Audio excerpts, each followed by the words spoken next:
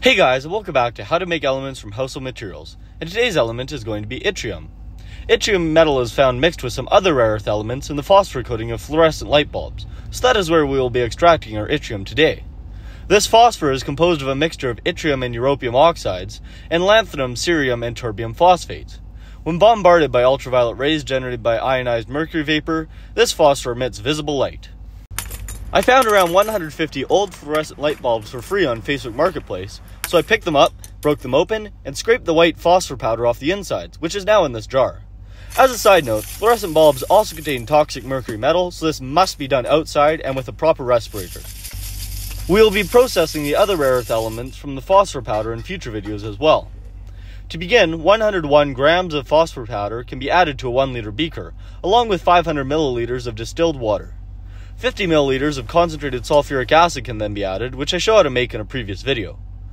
I could not find data online regarding the yttrium concentration of fluorescent phosphor powder, but assuming that half of the phosphor is yttrium oxide, 50 mils is the stoichiometric amount of sulfuric acid.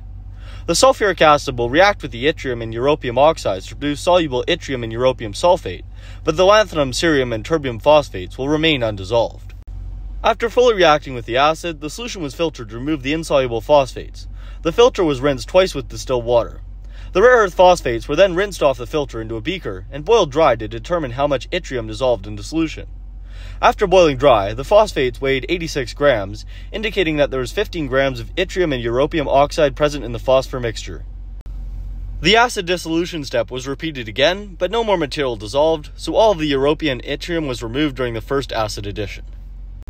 The terbium, cerium, and lanthanum phosphates were set aside for processing in a future project, and the yttrium and europium sulfate solution was boiled down to reduce the volume.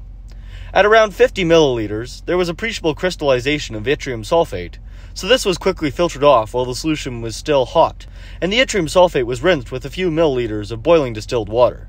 Online sources suggest that the europium is in a much lower concentration than the yttrium, so the precipitated solid should only be yttrium sulfate, as europium sulfate has a greater solubility in water and is still soluble at 1.9 grams per 100 milliliters in water at 100 degrees Celsius. Interestingly, the solubility of many lanthanide salts decreases at higher temperatures, which is useful in this case. This is also why it is important to perform the filtration hot. After the filtration, the yttrium sulfate was an off-white color, and a yellowish solution of europium sulfate remained. The europium solution was boiled down and set aside to be processed in a future project, and the yttrium sulfate was added to 350 milliliters of cold distilled water to redissolve it. About 10 grams of sodium hydroxide was also added to 100 milliliters of water in a separate beaker, and this solution was added to the yttrium sulfate solution to precipitate yttrium hydroxide. The yttrium hydroxide suspension was then gravity filtered, and then the filter paper containing the yttrium hydroxide was added to a beaker. 300 milliliters of water was added, followed by 60 milliliters of concentrated hydrochloric acid. This causes soluble yttrium chloride to form. The hydrochloric acid can be purchased at hardware stores as muriatic acid. After stirring, the yttrium fully dissolved into solution. Next, we will need to prepare anhydrous yttrium chloride to isolate the yttrium metal. However, boiling down yttrium chloride directly will result in yttrium oxychloride forming during the dehydration. To get around this, 15 grams of ammonium chloride is added to the yttrium chloride which forms a double salt that can be successfully dehydrated and then decomposed at higher temperature to the anhydrous yttrium chloride. After evaporating the solution to dryness, the yttrium ammonium chloride double salt was added to a steel container and fully decomposed on a camping stove.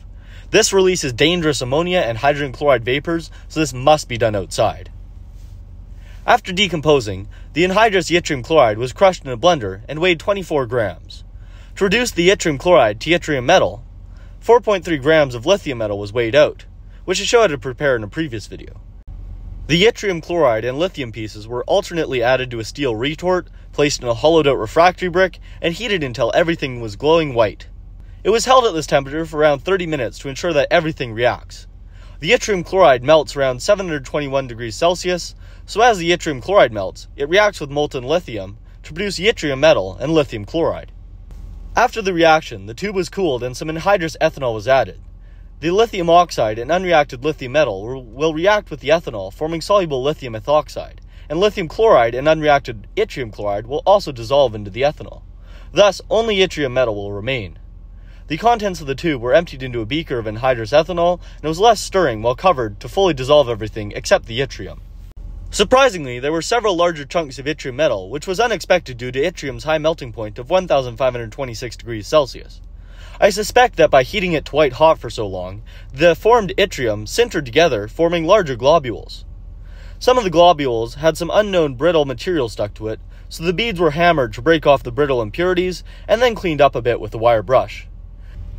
In total, we got 3.1 grams of yttrium metal from my element collection, corresponding to a 26% yield based on the 15 grams of yttrium oxide that dissolved from the fluorescent phosphor. Anyhow, that is essentially how to isolate yttrium metal from fluorescent phosphor. I hope you guys enjoyed, and I'll see you in a future video. Okay, bye.